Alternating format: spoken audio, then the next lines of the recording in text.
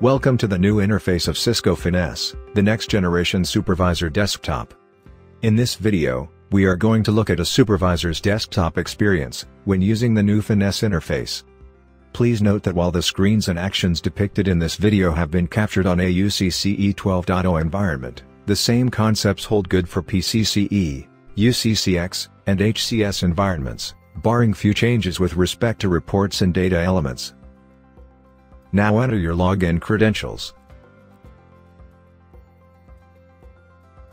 The first thing that you will notice is the left navigation bar, and your company's name and logo. If you have moved from an earlier version of Finesse, you will now observe that all the tabs which were arranged on the top horizontally, have been moved to the left navigation bar. You will also observe that there are icons associated with these tabs. By default, the left navigation bar is pinned. You can unpin the left navigation bar, if you choose to view more information across the desktop screen.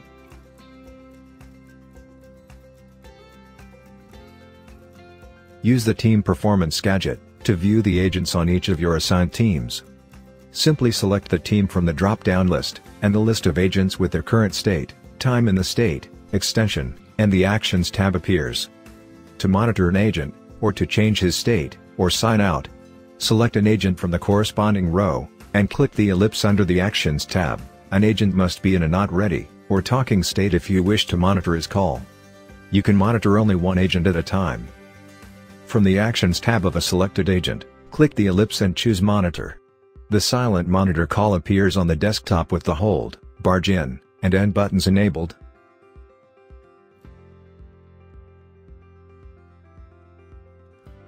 Also, Note that the time and state field refreshes every 10 seconds. When the agent state is changed, the timer resets to zero. You can view the active call details of an agent, in your assigned team from the Actions tab of a selected agent.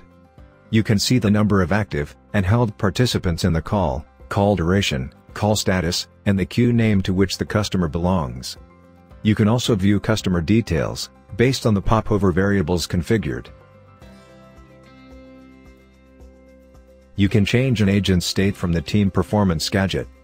From the Actions tab of the selected agent, click the ellipse, and you can choose to force the agent's state to Ready, Not Ready, or sign out the agent. Use the same Actions tab to view the recent call history, and recent state history of an agent in your assigned team. While looking at the call history and state history of an agent, you can also choose to monitor the agent.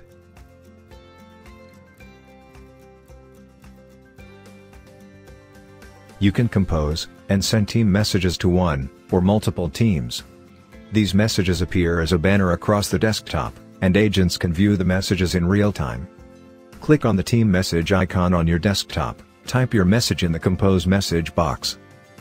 Select the team, or teams by checking the checkbox next to the team name. Set an expiry time, for the message to be displayed, and click send. In this case, Rick is sending a team message regarding the high call volume.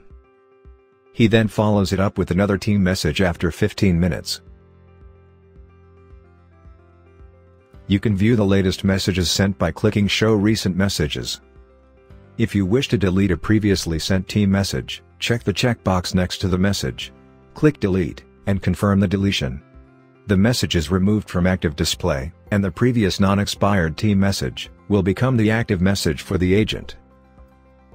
If Finesse Desktop Chat has been configured for your contact center, you can engage in a chat session with an agent, and thereby coach, mentor, or assist an agent. In this scenario, the agent Sandra, who is on an active call with the customer, has reached out to Supervisor Rick for guidance. And Rick is assisting Sandra. In another scenario, Rick observes that Agent Josh has been on the call for quite a long time. And hence, is checking with Josh if he needs any help.